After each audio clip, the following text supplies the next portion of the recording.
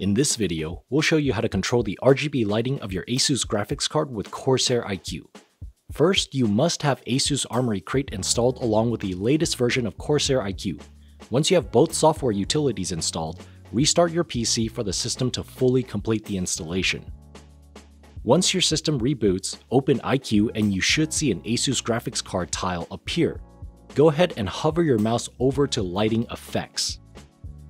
To customize the lighting of your graphics card, click the Add button to make a new lighting layer. Now, you can select from a variety of lighting effects in the drop-down menu.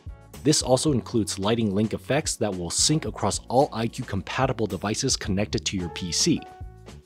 You may also add multiple lighting layers and change their order for more complex lighting effects. And that's it for setting up and controlling the RGB lighting on your ASUS graphics card with Corsair iCUE. For more information about iCUE, please visit corsair.com/iCUE. Thanks for watching.